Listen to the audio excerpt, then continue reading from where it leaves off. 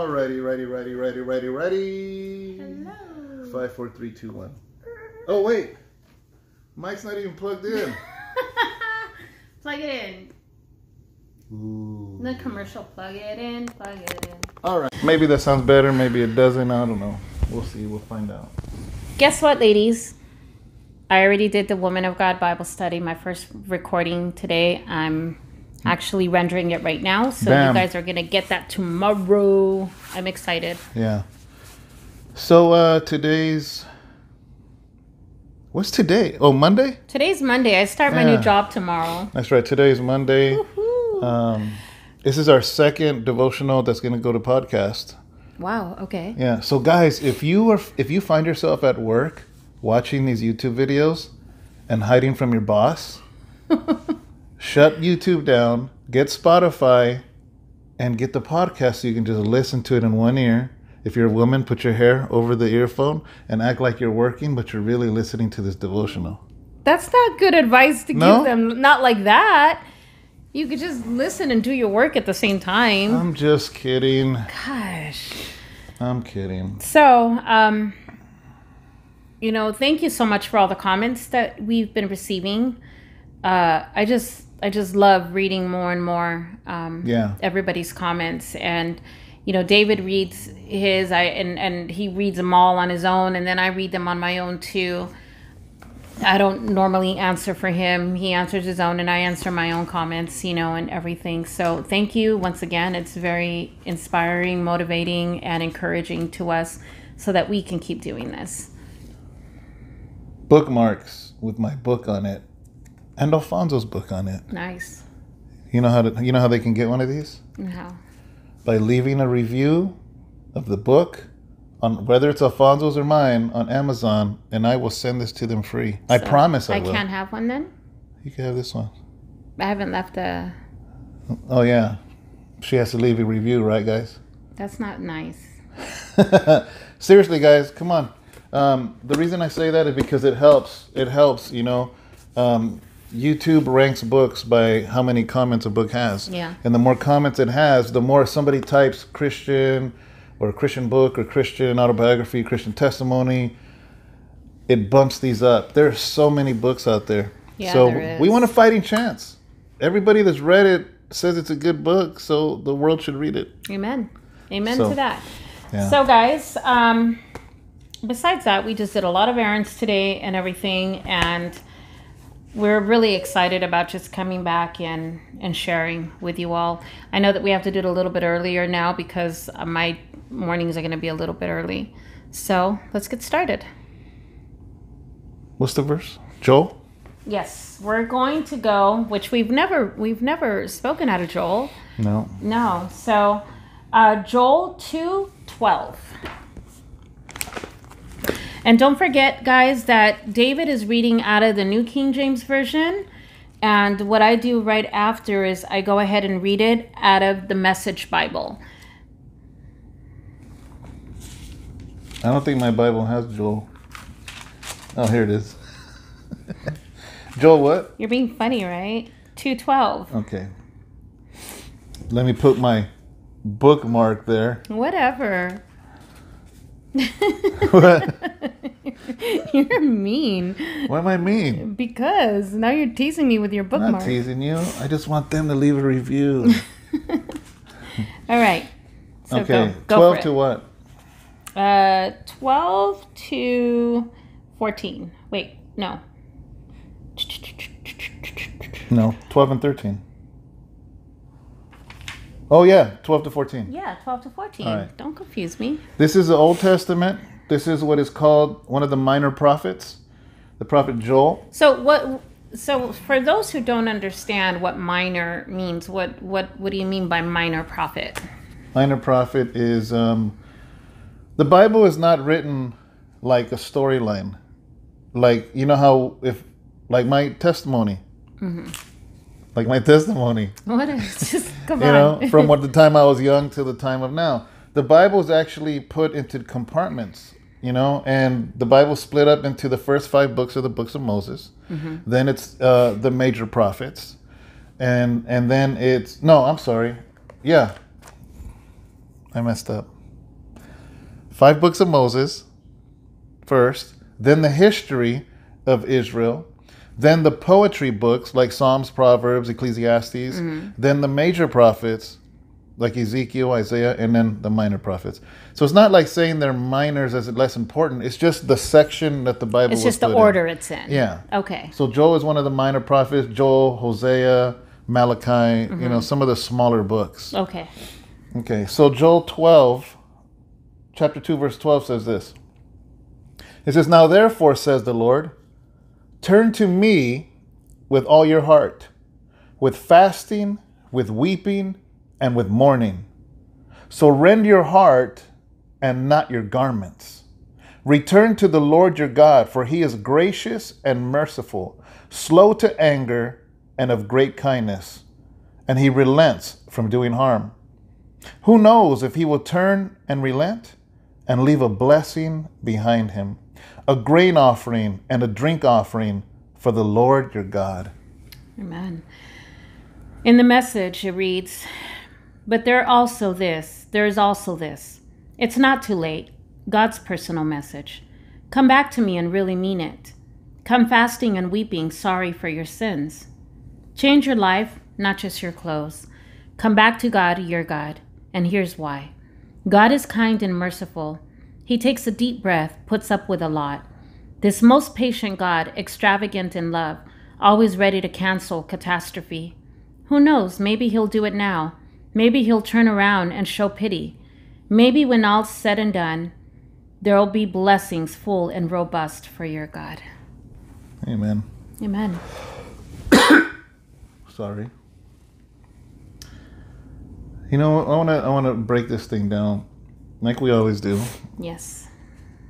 How does this passage become relevant to our life? How does it reflect us today? You know, and a lot that's a lot of questions people have is why do you read this book that was written hundreds of years ago by people that um, sat on camels and lived in a desert? Like, how does that pertain to me? You know, and the Bible is the living Word of God. First of all, you can always take. It's so rich. You can always take from it. So the very first part of the first verse it says this, now therefore says the Lord, turn to me with all your heart, with fasting, with weeping, and with mourning. Now, have you ever had somebody tell you that they're sorry, but they're you see it in their face that they're not sorry. Yeah. What do I always say when somebody says sorry? Don't say it unless you mean it. Don't say it unless you mean it. And meaning and meaning it means you won't do it again. Exactly. Yeah. So so the Lord is like, listen, I want you to turn to me with all your heart. And when you turn to me with all your heart, let it be with fasting and weeping and with mourning. See, a lot of times nowadays people don't want to say repent. They want to say, oh, you know, just follow after God and, and just, you know, live after Him. But how can you do that unless you repent first? You know what repent means? It means a a 180. Yeah. Complete turn. You know, sometimes I think we don't grasp the fact that when when when many of us lived for the world, it's embarrassing. There was there was there was things in my life that I did that I would have been embarrassed if my mom and dad would have known. Yeah. Just straight embarrassed. I don't mean yeah, you. I mean yeah, general like me too. Just you em- embarrassed. yeah. And the few times I would get caught doing something, man, I felt so embarrassed. I felt so. I remember, uh, you know, I just Because shared. we know that they never taught us that. I just shared in service that I couldn't look at my dad when I was uh, going to jail, and in the cell. I mean, in the visiting room and through the glass, I couldn't look up to my dad because I felt so ashamed. And when I finally looked up to him, I broke because I was so sorrowful with all of my heart. That's why a lot of people don't understand is why do people cry at church? Do you understand that you're at a place where you're completely bare Yes. unto God? And here's what gets me. This is why I've cried. Because I'm bearing everything to him and he still wants me? Yeah. He still wants you? How many times have you rejected God And then when you finally cry out to him, he doesn't say, "Oh, now you want me?" No, he embraces you and it breaks you. How many times have we walked away and just went back to our old and picked up our old things? And it, it's almost like a slap in his face and be like, you know, um, I know you're there and I know you've done all this for me. I know that you're you're you're loving me and everything, but you know, it's not enough. I need I need to pick up my old baggage and I need to just go back because that's where I'm comfortable. That's all I know. You know, how harsh is that? Yeah. But the thing is, is that a lot of people stay there thinking that there is no redemption, or they think that there's no forgiveness, or they think that God is not merciful. They think that, you know, you know, I, I hurt him so bad. Why am I going to go back? Yeah. You know, or I don't know how to go back anymore. Look what I've done. I keep coming back and I keep coming back to the same old place, and I don't know how to get back up. Yeah, exactly. And, and, and he says something real interesting that there's some there's historical um, ex- explanation for this next part. So not only does he say, "Turn to me with all your heart, with fasting and weeping and with mourning," but the next verse 13 says, "So rend your heart and not your garments." How does it say it in that one? It says, change your life, not just your clothes. See, here's the thing, right? Yeah. in Jewish times, when something hurt you, they would literally rip their robe open Yeah, yeah. as a as a as a show of sorrow. Mm-hmm. That's what they would do. Actually, when Joseph, when they brought back to Joseph uh, the, the the bloody garment, his Mm-hmm. yeah, father his father ripped. ripped Yeah. he rent he ripped his garment Yeah. to show that he was in sorrow to show that he was in the pain agony, the pain. the agony the, the the the tragedy and god is like listen don't be ripping your clothes for me i want you to rip your heart for me that's what he's saying he was rend your heart and not your garments and I love where it says, "Come back to me and really mean it." yes Really That's why he's it. saying that. He was quit ripping your clothes and start ripping your heart. You know, I just did an interview today and I said a whole lot to him, you know, but I'm just like, listen, we can go back and forth uh, on the Bible and history and all this and that, but I'm here to tell you what he did inside of me. Yes. He broke me, he shattered me, and he put me back together. And, and it's like, he's like, how, what, do you, what advice do you have to tell somebody to get away from gangs? And I'm like, and it was not a Christian. It was a podcast interview. It was not a Christian show. And I'm like, I'm gonna be honest with you, man. I can't give you no other advice but Jesus. Yes. He's the only one. He's the chain breaker. He's the one that sets the captive free. He's the only one that that. So it's like all he's asking of us is to rip our hearts open to him. And remember that example I gave you about my dad in the field. Before they plant the seed, they have to rip the yes. ground. Yes. See, my dad's a farmer, been a farmer all his life. And I would ask him, Dad, you know, when I was growing up, what, what'd you do today? And he's like, Oh, I was ripping the ground. Yeah. And I'm like- plowing the fields, right? Yeah, I'm like, what do you what do you mean ripping the ground? And he showed me the tractor and it was these huge discs. So they would literally take that through the field and rip the ground open in order for it to receive the seed. So I love the fact that God is saying, quit ripping your clothes and rip your heart. Mm, Can you imagine to rip your heart? That means that means you're gonna go through some pain. that means you're gonna go through some stuff. Yes. You know, some pretty heavy stuff. But the thing is, is that God is is there with you through it all, and He's saying, just do this and let me embrace you. Yeah.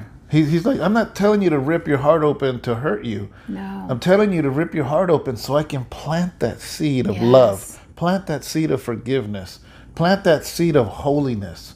And, and you know, you know what happens? I told my dad, what happens if you don't rip the field? He was then I lay a bunch of seed and the birds eat it. Yeah. He was, what good is throwing seed if it's not going to go in the ground?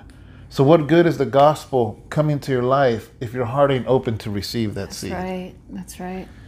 So then it says after that, so rend your heart, not your garments.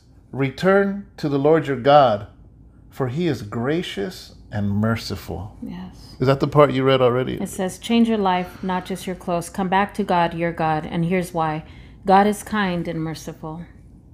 He takes a deep breath, puts up with a lot. God He, is he does kind. put up with a lot with us, huh? God is gracious. Like seriously. of course. Wow. We're we're stubborn. We're a stubborn species. Mm-hmm. You know, from the beginning of time, he told the birds, "I want you to fly in the winter. I want you to fly to the south, and fly to the north when it, when the winter's over." You know what the birds do to this day? Exactly what he ordered Exactly them what to he do. ordered them to do. Birds are in obedience to God. He told the turtle, I want you to go up on the sea, uh, go up on the shore and plant your eggs. And he tells the babies, when you hatch, make your way immediately into the ocean so nothing, you know, eats you. And what do the turtles do? They've been in obedience ever since. And mankind has been in disobedience from the beginning. Look at Eve and Adam and Eve. every every It's like, hello. every animal is in obedience. Yeah. Except our cat. I don't know what's wrong with that cat. but isn't that crazy how when we watch these nature shows on Disney Yeah, Plus, They they're they're there to do and Exactly. to even pollinate plants to create um, oxygen to do this to do that. It's just it's amazing. if they were if animals are disobedient, insects, bugs, ants, then literally our ecosystem would fall apart. Yeah, it would. But every plant, every tree, every bug, every animal, everything obeys God with It's what He told it to do. created with a purpose. yes. Yes. You know who's rebellious? Us. But you know what? we're hard headed, man. But here's the thing God is gracious He and is. merciful. He is. You know what mercy means? It means He's showing you kindness when you don't deserve kindness. It's it's it reminds me of the word meek when you talk about meekness because he's able to destroy Yeah. but he chooses not to. He chooses to love us and he chooses to embrace us with his soft heart with who he is. And there can be wrath, but he he doesn't he chooses not to do that. He chooses to forgive. Exactly. Yeah. So He is gracious and merciful, slow to anger, and of great kindness, and He relents from doing harm. How does it say it? Or you already read it on there? No, not yet. Uh, the most patient God, extravagant in love, always ready to cancel catastrophe. Who knows? Maybe he'll do it now. Maybe he'll turn around and show pity. Wow. So God is speaking through the prophet Joel or Joel. And the Lord is saying, listen, he's, he's talking to Israel because Israel had turned away from God at this time. And God is giving Israel another chance. He's like, listen, Come back. you got to turn to me with all of your heart, Yeah. with fasting, with weeping, with mourning. Quit ripping your clothes and rip your heart.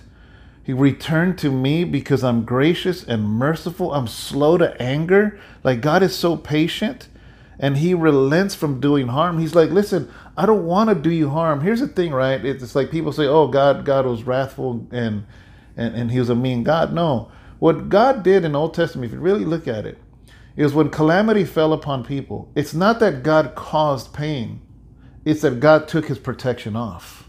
Yeah. He took his protection off. And at that point, it's like all the elements now come in. Yeah. It's like living in a bubble and all this bacteria is trying to get to you. And it's not like God is sending bacteria, God just takes the bubble off. He says, okay, you don't want me? Okay. All right. You Yeah. know? But it says here he's slow to anger.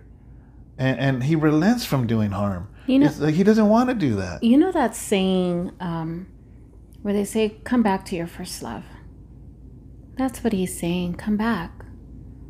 Come back, you know? And I think there's many people that either backslide, they, they could call it backslider, that have just gone back to the things of the world, is, is what I say, you know, that they've decided that maybe it's too hard or maybe they just can't, they really can't um, they think that it's just too too too hard to live a life with God. So he's saying come back to me.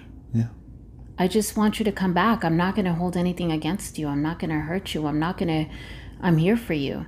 I'm not going to hold the fact that you made the wrong choice. It's okay because I love you. He loves us so unconditional that he's just ready to to write that all off and just, you know, keep loving us. You know, there's another part of scripture where God says that He has good thoughts toward us each and every day. Yeah. And He has good thoughts for our future. You know, and one of the past the re, one of the reasons why I want to read this passage is Sharon had said before we played the video. She goes, you know, I feel there's a lot of people out there that served God, fell away, stumbled, and now they feel guilty to come back. And we're doing this video to tell you that as long as you're breathing, you can come back. You can come back to your first love. You can come back to the one that is gracious, the one that is kind, the one that has good thoughts toward you, the one that wants you to have a good future. Satan does not want you to have a good future. He, matter of fact, he wants to destroy you. He wants to kill you. He wants to destroy your family. He wants to destroy your hopes and your dreams. And God wants to restore your dreams, restore your family, restore your health, restore your future because he is merciful and slow to anger. He's basically saying, Come back to me. Eh, come back to me, but don't do it fake. Don't do it on the outside by ripping your clothes. Do it on the inside by ripping your heart. You know, uh, my oldest son is 29 years old, and I raised my kids. He was uh, five years old, and my daughter was about three and a half when we started going to church. And throughout all those years, through those 20 years, 22 years almost, um, my kids had seen so many people come and go. And we were in a really tough ministry where we would go and, and really minister to the gangs, to the, you know, the prostitute, to the drug, you know, infested people who were just, you know, com- completely in addiction and everything. Um, a lot of homes, a lot of that. And my kids would see that come and go, come and go, come and go not me realizing that as an adult it was going to affect them.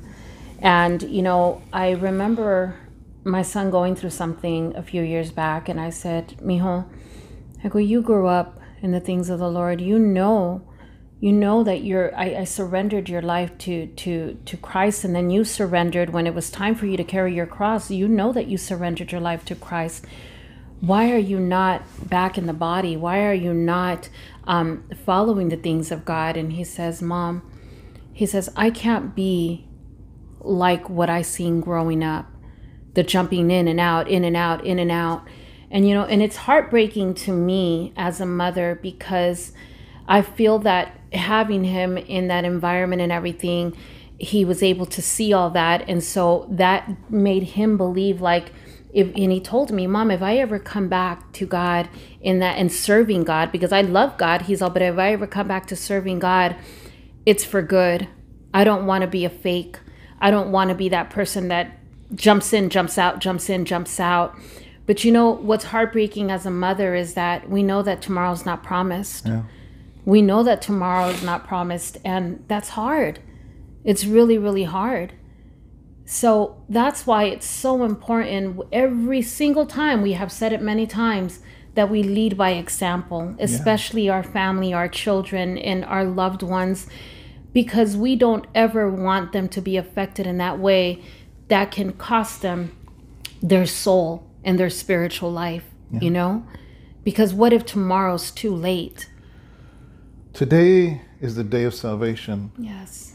That's what the Bible says. You know, I mean, even, you know, Kobe. Do you think he thought that was his last day? No. On top of the world, millions of dollars in the bank, property. Uh, beautiful family. Beautiful family, you know, financially stable. Gets in a multi million dollar helicopter, not thinking that he literally had minutes to live or however long that ride was at you know, and none of us know. None of us know. I don't know. I, and we don't know. Every time we get in the car, every time we sleep, things happen, you know, and today is the day of salvation. Don't wait for another day. If you've ever served God and you're not serving God now, today is the day to rededicate because He is saying, Come back to me with mourning, come back to me in fasting, come back to me broken, and I will restore you. He is the restorer. Yes, of everything. You know, I remember um, off of 99 in Modesto by the church, every time we get on the freeway, um, there's a wrecking yard right off the freeway you can see. Remember that wrecking yard? Mm-hmm. Kind of coming from Ceres. Yeah. And um, one time it dawned on me, a long time ago, years ago, I said, that's exactly. See, when we want a car, we go to the new dealerships. Yeah. Yeah. And but God, do you realize God? He goes to the wrecking yards. he finds the rejected, the broken, the crushed. All those cars are crushed. Don't even work anymore. Nobody wants them. They're full of rust. See, when God wants to use someone, He doesn't go to the brand new dealership. He goes to the wrecking yard where nobody is looking for anything and God finds a treasure. Why do, how do I know that? Because I was a wreck and He found me and He restored me and He polished me. You know, and, and it's like He doesn't fill it fill us with gas, He fills us with the Holy Ghost. Yeah. You know, and it's like if you feel like you're a wreck, there's how many people say, "Oh man, I'm a wreck." Well, guess what? It's exactly what he's looking for. You know, I love that you said that because of the fact that, you know, everybody's told me, why do you like old stuff? You know, why do you like antiques? Why do you like that? And I see the beauty. I see the beauty in things that can, you know, be cleaned up a little or just, you know, give it a little bit of life and everything because they have a story. Yeah. They have a testimony itself, you know, like my big old hutch, you know, I found that in an alley and I cleaned it up and fixed it up and it's just beautiful, you know, and to me I tell people all the time, you want to know why I love old things and why I love it because they have a testimony itself. Yeah. And you know, everything if you take something that looks like, you know, somebody's trash can be somebody's treasure. Yeah. And you know, I feel that I was the trash in this world, but I'm I'm God's treasure you know That's and what he does. and i'm his gem i'm his most beautiful gem and you know i'm not who the world told me i was and and i think that is that is just awesome Did you guys know that um and you probably know this, but maybe some of you don't. A raw diamond actually looks like a very ugly rock. yeah ugly black rock I don't know nothing about diamonds. I could probably literally, you know, get Walk a right across- walk past one. pick an ugly rock up and just toss it into a ditch just to see it bounce, not realizing it's it's a twelve million dollar diamond because I don't know those things. But you know what? God sees the diamond in the rough. Yeah. He sees what you can become. The real jeweler can go and say that I can make beautiful because the quality is upon him to bring it out, but it's already there. And you, you know another thing too that a diamond when it goes through the processed uh, a process of everything, it when they put it in the fire and everything, it it almost like screams. It has a loud screech to it. Well, they're made in fire. Actually, they're made in that's And- and- and it's- they're made in volcanoes. It's a pressure. Yes, They're do you know created by it pressure. screeches. It screeches. It makes a noise. It makes a noise of pain and agony, and it almost people think that it's almost like a like a, a cry of despair when they hear diamonds in the fire. I never knew that. Yeah, mm. I, I you know I had been reading about that, and when you say that, it it makes me realize that every gem and every diamond goes through a process, and sometimes it's a painful process, Yeah. but it creates and it makes us who we are in Christ. Amen. It really does. Yeah. So the jeweler takes that diamond, rough, ugly looking, messed up, and he begins to cut it and shape it. And that's exactly what the Lord does. He takes us as we are, but we don't stay as we are. He cuts us and he shapes us into something brilliant. And at the end, the jeweler shows the diamond off, and everybody says, Wow, that's amazing. And the jeweler is proud because he took this ugly rock and he formed something beautiful. Do you know when you're being rebellious to God, you're basically telling the jeweler that you know better? And all the jeweler wants to do is bring the brilliance out of you? Allow him. Allow him to cut the things that he has to out of your life and to chisel and to sand and to mm. shape. And sometimes that stuff hurts, but the the jeweler only wants the best for the diamond. And and you know what's awesome too though? It's awesome that when you have a diamond and it's a true diamond and you are that gem, it can get a little dirty, it can get a little dusty, it can get a mm-hmm. little, but you know what it takes? It takes for us to come and repolish.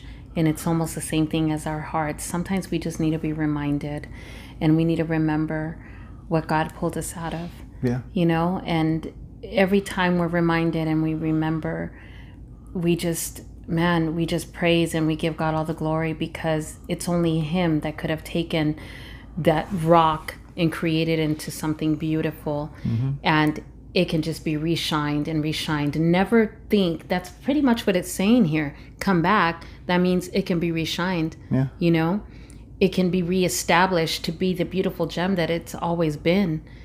You know, just because we mm. get a little bit of dirt or we get a little bit of something, don't don't let that be the end of it. Yeah. Don't let that build up and be the end of it. Come right back, repolish it, repolish your life, rededicate your life. You know what the drills the drillers use on the ground to cut through all the rock? They use a diamond because it's, once a diamond is formed, it cuts through everything. you know, and the last point I want to make is this: is I had a friend. His name's a jeweler, John the jeweler. You met John, Oh yeah, I did. and early on, back in my music industry days, I used to buy all my jewelry from him. And he would always want to look at a diamond through that little, you know how they do? Mm-hmm. And I'm like, why do you guys do that? He goes, I'm checking to see if they're real or they're fake. And I'm like, dude, they all look the same. He goes, no, you don't understand.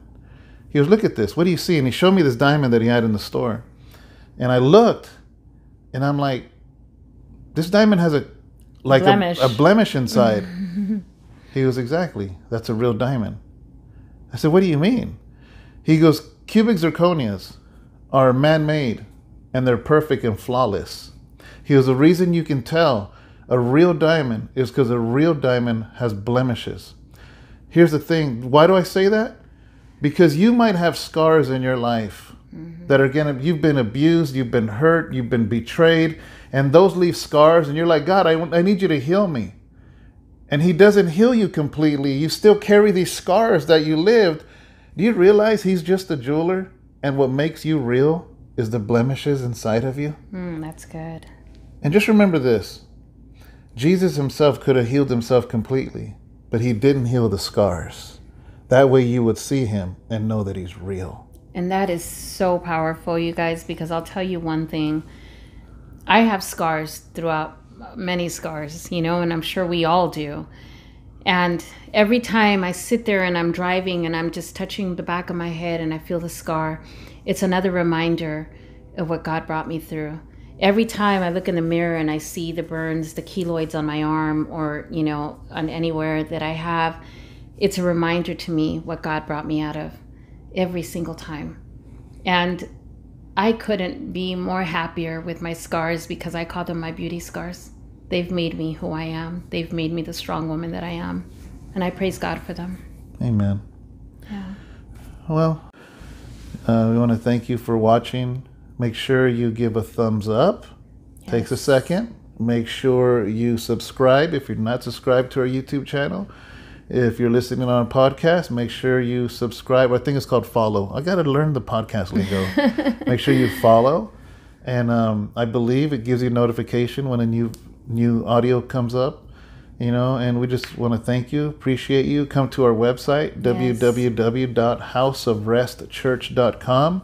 We are on Instagram. Uh, on Instagram, look for House of Rest, one word, like no space, just House of Rest on Instagram.